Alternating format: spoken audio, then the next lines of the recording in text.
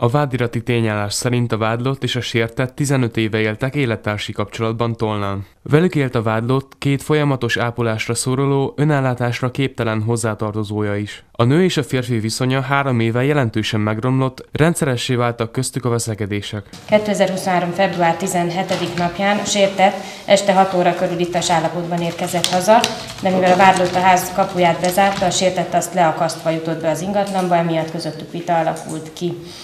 Este 7 és fél 10 óra között a szintén ittas vádlott és a sértett között a lakóház konyhájában alakult ki újabb szóváltás.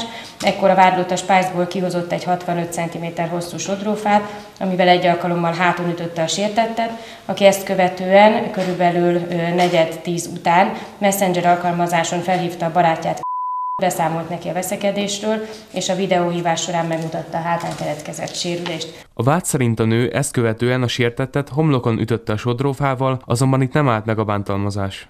Ezután a vádlott az egyik konyhafiókból kivett egy 33 cm hosszúságú és 19,5 cm penge hosszúságú acélból készült konyhakést, amit a, ami a sértetnek a henteskése volt, amit a bal kezében fogva egy alkalommal legalább közepes erővel megszúrta a vele szemben álló, tőle hátráló sértettet a melkasa jobb oldalán középtájon a harmadik borda vetületében.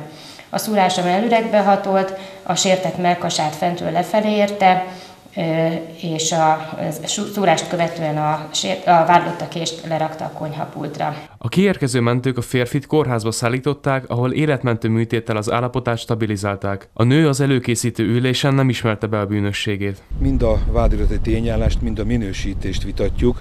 Az események nem egészen úgy történtek, hogy a vádirat tartalmazza, és ami nagyon fontos, hogy a védelem számára érthetetlen, hogy miért változott meg az a minősítés, amivel az eljárás indult, az pedig egy életveszélyt okozó testi sértés volt, és emberölés kísérlete lett, ami sokkal súlyosabban fenyegetett börtönnel. Az ügyvéd az ülésen felhívta a figyelmet a vádlott életkörülményeire is. Nagyon fontos az, hogyha ugye az ügyészségi 8 évet kért volna beismerés esetén a vádlotta, hogy ő neki börtönbe kell vonulni, akkor két maga tehetetlen ember marad utána. Ő gondozza a Dankónos gyermekét, és a teljesen béna, még beszédre is képtelen testvérét, ő maga egyedül minden segítség nélkül.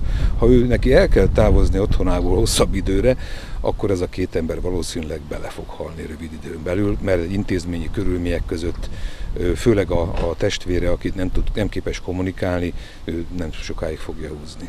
A következő május 28-ai tárgyalásra tanúkat és szakértőket is beidéztek.